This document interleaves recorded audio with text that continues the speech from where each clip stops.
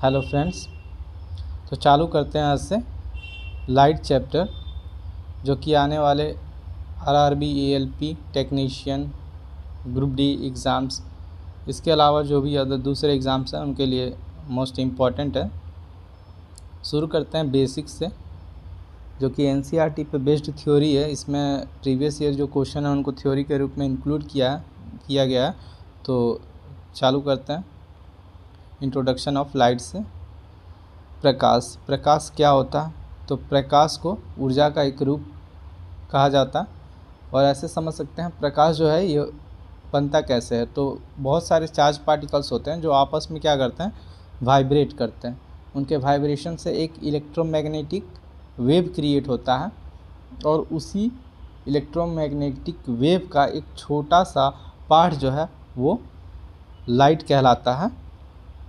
और इस लाइट यानी प्रकाश के अध्ययन को हम लोग प्रकाशिकी कहते हैं, ऑप्टिक्स कहते हैं। और इसका तरंग धैर्य जो होता है, वो आपका कितना होता है? जो इसका तरंग धैर्य जो है, आपका उनचालीस सौ एंगस्टन से लेकर और अठहत्तर सौ एंगस्टन तक होता है। ठीक है? अब इस ये एंगेस्ट्रन जो है ये क्या है? जो तरंग धैर्य है आपका उसको हम एंगेस्ट्रन में मेज़र करते हैं। और इस, इस एंगस्ट्रन का सिंबल भी कई बार एग्ज़ाम में पूछा गया है तो ध्यान रखेंगे इसका सिंबल कुछ इस तरीके का होता है। ठीक है? अब देखिए, एक एंगस्ट्रन बराबर कितना होता है? एक एंगस्ट्रन जो है, ये किसके बराबर होता है? एक एंगस्ट्रन जो होता है, ये बराबर होता है दस के पावर माइनस दस मीटर के। दस के पावर माइनस दस मीटर के बराबर होता है वन एंगस्ट्रन ठीक है? अब अगर नैनोमीटर में तरंग धैर्य आपसे पूछा जाए, नैनोमीटर में यदि तरंग धैर्य आपसे पूछा जाए तो कितना होता है? नैनोमीटर में जो होता है तरंग धैर्य कितना होता है आपका? ये होता है आपका 400 नैनोमीटर से लेकर 750 नैनोमीटर तक। कहीं कहीं आपको 380 नैनोमीटर से लेकर 750 नैनोमीटर तक लिखा हुआ मिलेगा। ठीक है? और ये नैनोमीटर जो होता है, इसका वैल्यू भी एग्ज़ाम में कई बार पूछा गया है, नैनोमीटर बराबर कितना होता है? तो नैनोमीटर जो है, ये बराबर होता है दस के पावर माइनस नौ मीटर के बराबर होता है। ठीक है? ध्यान रखिएगा।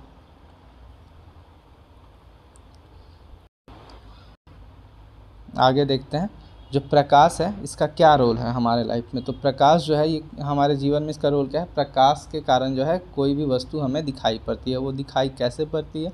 तो जब प्रकाश उस वस्तु पे गिरता है और वापस रिफ्लेक्ट होकर हमारी आँखों तक पहुँचता है तो वस्तु हमें दिखाई देती है। तो जो वस्तु हमें दिखाई देती है, सभी का कलर अलग अलग होता है।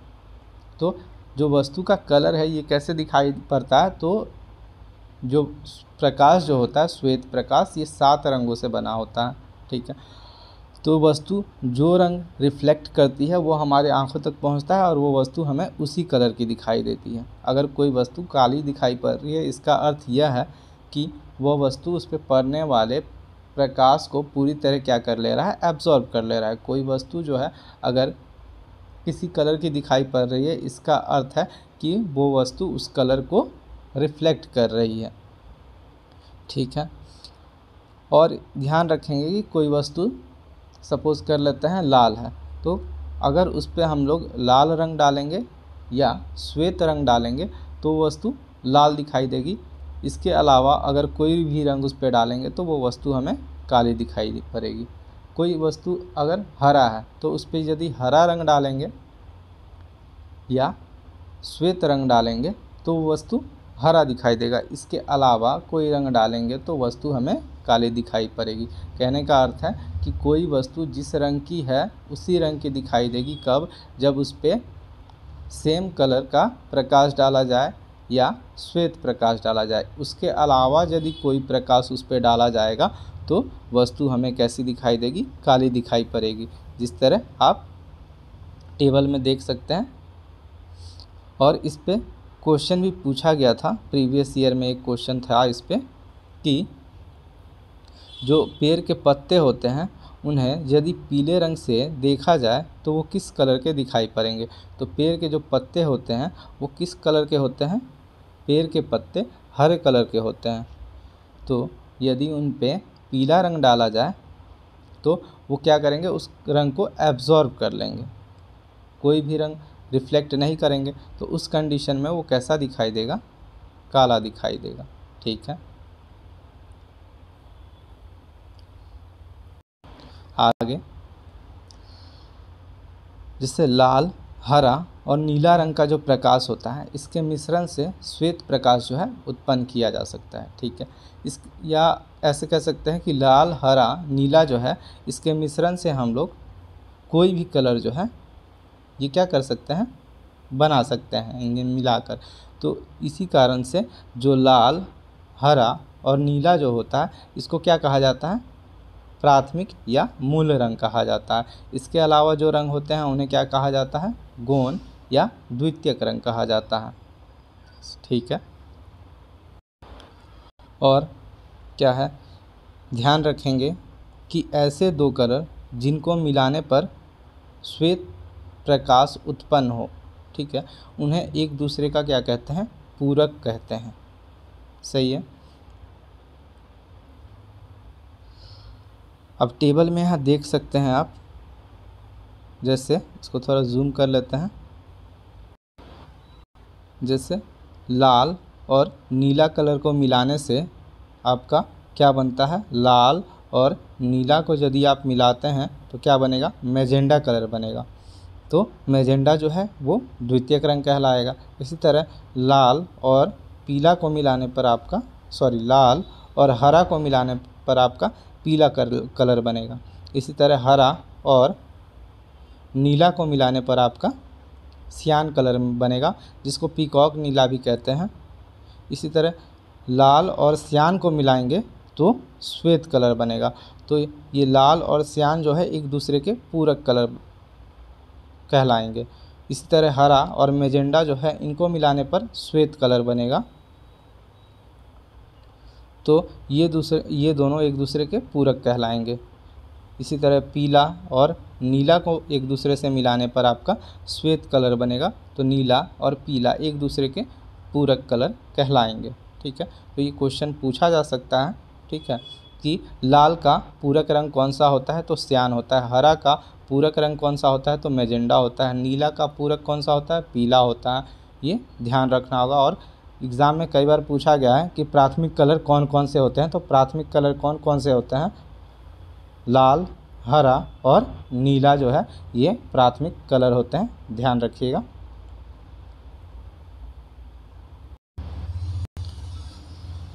अब यहाँ देखते हैं, सभी विद्युत चुंबकीय तरंग जो है, ये क्या होते हैं? अनुप्रस्थ तरंग होते हैं। सभी विद्युत चुंबकीय तरंग जो है, ये क्या होते हैं? अनुप्रस्थ तरंग होते हैं। तो हम ऊपर पढ़ चुके हैं, प्रकाश क्या है? एक विद्युत चुंबकीय तरंग है। अर्थात प्रकाश भी क्या होता है? एक अनुप्रस्थ तरंग होता है, ठीक है? ध्यान रखने के लिए आप ऐसे समझ सकते हैं कि प से प्रकाश और यहाँ बीच में प लगा हुआ है अनुप्रस्थ। और ध्वनि जो होता है, ये क्या होता है आपका? ध्वनि जो है ध्वनि जो है साउंड ये क्या होता है? अनुधैर्य तरंग होता है। क्या होता है? अनु सॉरी अनु धैर्य तरंग होता है। ध्वनि, ध्यान रखिएगा इसको। और प्रकाश जो है, कैसा होता है? अनुप्रस्थ तरंग होता है। दोनों जो अनुप्रस्थ तरंग है और अनुधैर्य तरंग है ये दोनों किस तरह की तरंगें हैं, ये भी क्वेश्चन पूछा गया। तो ये दोनों यांत्रिक तरंगें होती हैं। कैसी तरंगें होती हैं? यांत्रिक तरंगें होती हैं।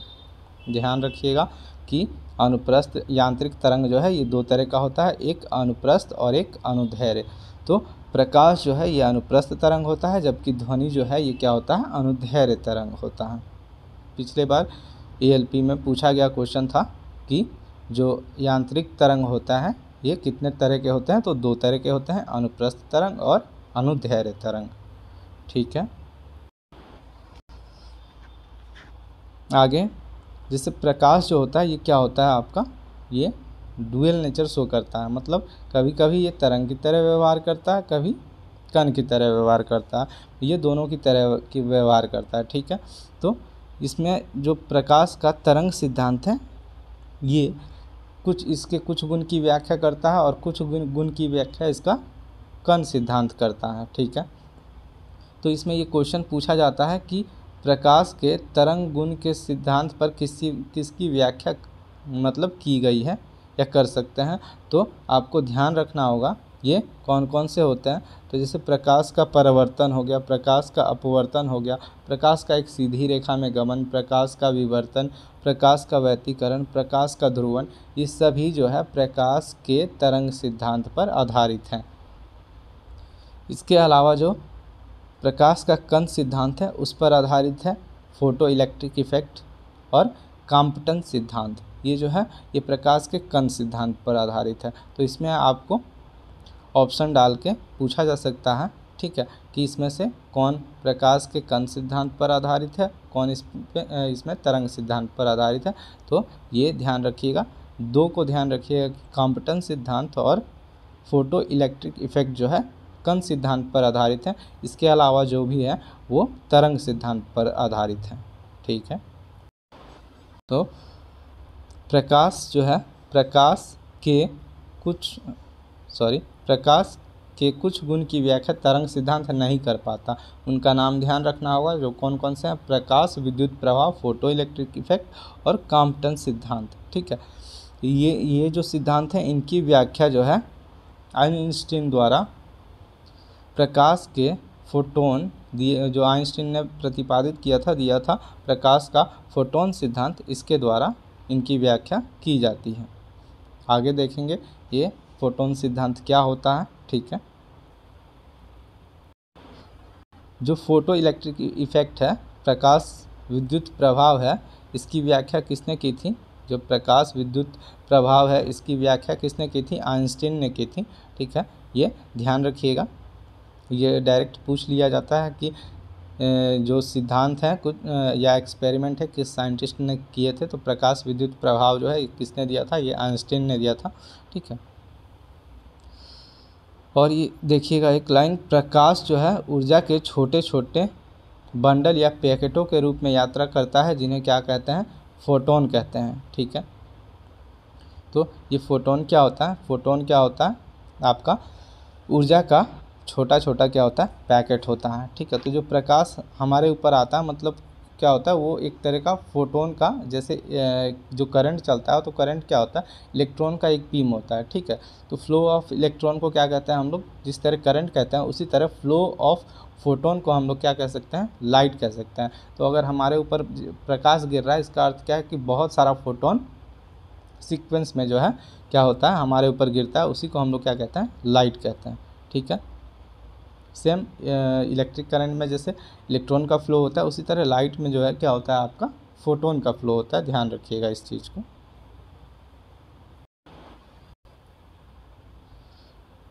सबसे पहले न्यूटन ने बताया कि श्वेत प्रकाश सभी रंगों के प्रकाश से मिलकर बना है। न्यूटन ने ही बताया कि प्रकाश अत्यंत सूक्ष्म कणों के बने होते हैं, जिन्हें कणिका कहते हैं, ठीक है? और यह सीधी रेखा में गमन करते हैं। प्रकाश के इस सीधे पथ को क्या कहते हैं? किरण कहते हैं, ठीक है? तो प्रकाश का कनिका सिद्धांत किसने दिया था? ये क्वेश्चन पूछा जाता है तो प्रकाश का कनिका सिद्धांत जो है, ये न्यूटन ने दिया था। या कह सकते हैं कि प्रकाश जो जो है, इसको एक कण के रूप में माना था सबसे पहले किसने? तो न्यूटन ने, ठीक है?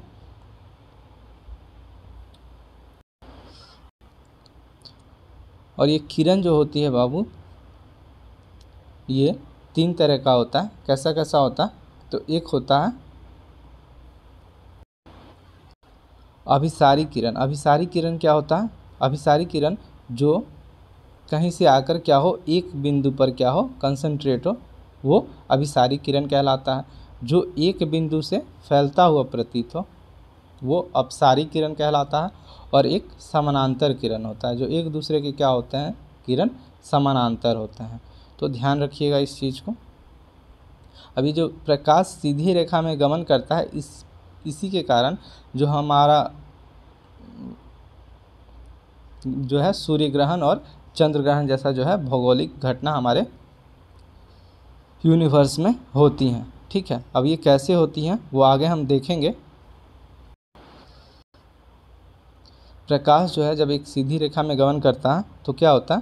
जैसे सन तो एक जगह पे आपका स्थिर रहता है, ठीक है? मून और अर्थ जो है ये क्या कर रहे होते हैं? रोटेट कर रहे होते हैं, ठीक है? तो जब चंद्र ग्रहण होता है तो अर्थ जो है क्या होता है? सन और मून के बीच में आ जाता है। तो जो सन का लाइट है वो पूरी तरह जो है मून पर नहीं पड़ता तो मून पर जहाँ, जिस पोर्शन पर लाइट नहीं पड़ता है, वो हमें धुंधला दिखाई पड़ता है तो इसे हम लोग क्या कहते हैं? चंद्र ग्रहण कहते हैं। इसी तरह जब मून जो है घूम कर बीच में आ जाता है तो सन का जो लाइट है, ये ये पूरी तरह जो है पृथ्वी पर नहीं पहुँच पाता। तो जब हम पृथ्वी से सन को देखते हैं तो सन के बीच में एक हमें धब्बा सा दिखाई पड़ता है, जिसे हम लोग क्या कहते हैं? सूर्य ग्रहण कहते हैं, ठीक है? ये ग्रहण होने के लिए जो है, इन तीनों का सूर्य, पृथ्वी और चंद्रमा का एक सीधी रेखा में होना अनिवार्य है, ठीक है? ध्यान रखिएगा इस चीज़ को। प्रकाश का कनिका सिद्धांत, ठीक है? सबसे पहले जो है, प्रकाश के कनिका सिद्धांत की व्याख्या जो है, ये दरकाते नाम के एक वैज्ञानिक ने की थी, ठीक है?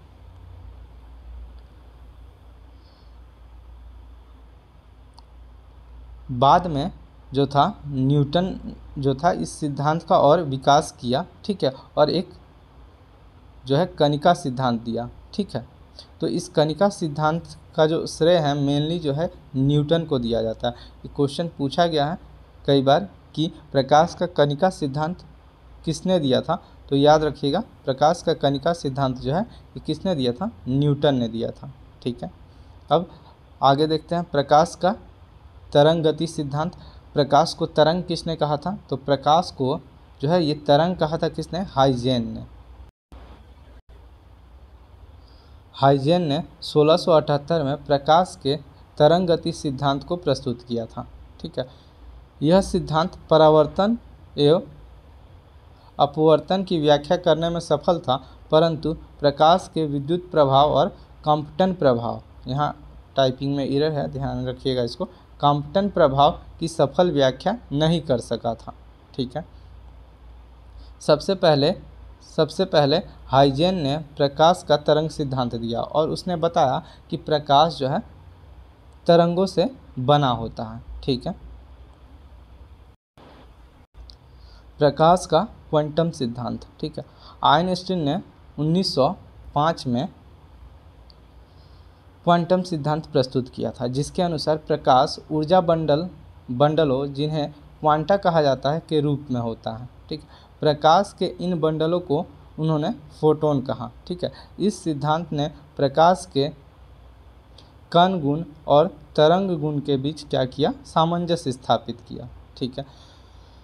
मैक्सवेल ने प्रकाश के विद्युत चुंबकत्व का गणितीय सिद्धांत दिया था। इनका वैज्ञानिक का नाम और सिद्धांत डायरेक्ट पूछ लिया जाता है तो इन्हें ध्यान रखिएगा। सबसे पहले क्वांटम सिद्धांत जो अगर पूछा जाए, किसने दिया था तो ऑप्शन में अगर आइंस्टीन और प्लैंक दोनों हो तो आप प्लैंक ध्यान रखिएगा कि सबसे पहले क्वांटम सिद्धांत किसने दिया था, मैक्स प्लैंक ने दिया था।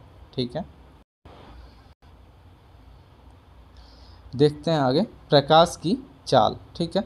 तो सबसे पहले प्रकाश के चाल के बारे में किसने बताया था? तो सबसे पहले जो है प्रकाश के चाल के बारे में बताया था ओले रोमर ने बताया था सबसे पहले। कब? सोलह सौ छिहत्तर ईस्वी में।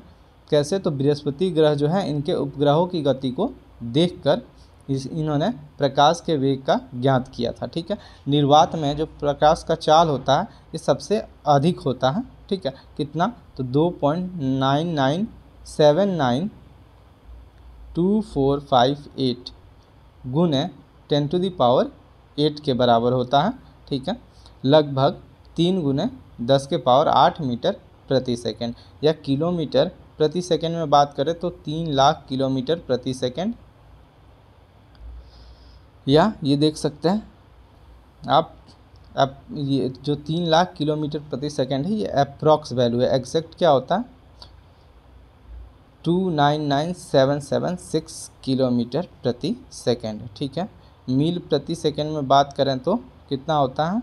आपका एक लाख छियासी हज़ार तीन सौ दस मील प्रति सेकंड। ध्यान रखिएगा कभी कभी ये पूछा जा सकता है ठीक है? निर्वात सॉरी निर्वात की तुलना में हवा में प्रकाश की चाल पॉइंट ज़ीरो थ्री परसेंट कम हो जाती है। पानी में पच्चीस परसेंट कम हो जाती है और कांच में पैंतीस परसेंट कम हो जाती है। ठीक है? ये आगे समझ में आएगा क्यों कम हो जाती है। ठीक है? जब हम लोग प्रकाश का अपवर्तनांक पढ़ेंगे, वहाँ आपको समझ में आएगा ये चाल क्यों घट बढ़ जाता है। ठीक है? प्रकाश की चाल किलोमीटर प्रति घंटा में कितनी होती है? तो एक पॉइंट एक गुने दस के पावर नौ किलोमीटर प्रति घंटा। अगर किलोमीटर प्रति घंटा में आपसे प्रकाश का चाल पूछ लिया जाए तो एक पॉइंट एक गुने दस के पावर नौ किलोमीटर प्रति घंटा होता है। ध्यान रखिएगा।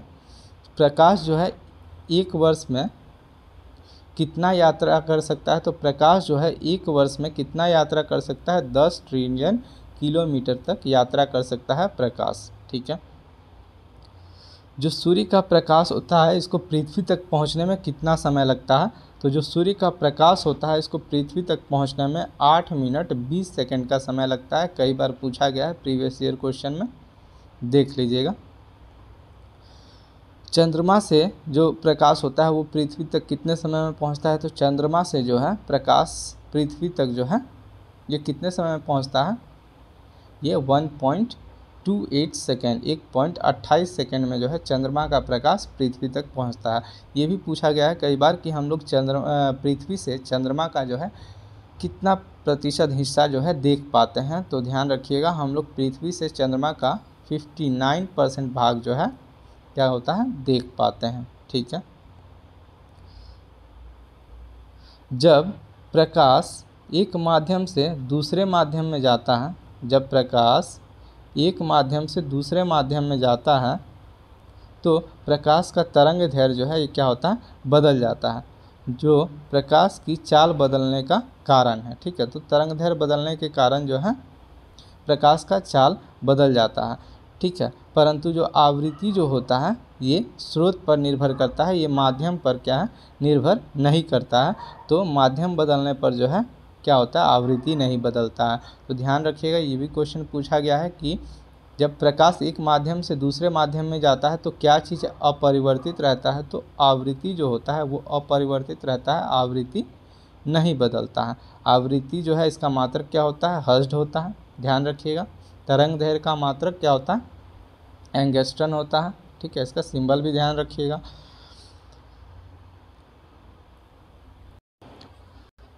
एक और टर्म ध्यान रखिएगा लाइट ईयर लाइट